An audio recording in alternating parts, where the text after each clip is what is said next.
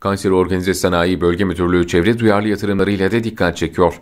Kayseri Organize Sanayi Bölgesi'nin en önemli çevreci yatırımlarından olan atık su arıtma tesisinde 2021 yılında arıtılan atık su miktarı 10 milyon metreküpe ulaştı. Kayseri Organize Sanayi Bölgesi Türkiye'nin en önemli üretim merkezlerinden birisi durumunda.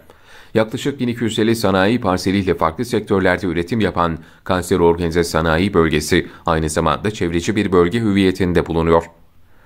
Kayseri Organize Sanayi Bölgesi'nin çevreci vasfına katkı sunan önemli yatırımlardan birisi de atık su arıtma tesisi.